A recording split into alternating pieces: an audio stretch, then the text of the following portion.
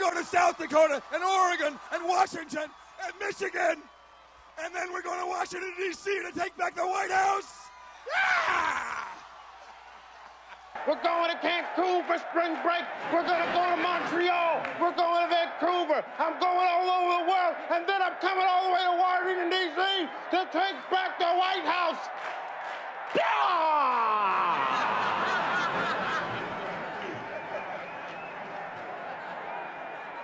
Yeah! I would kick open the door to the Oval Office and I would chop that motherfucking desk in half. Yeah! And then I would grab the Secret Service like this and put my hair out and say, yeah!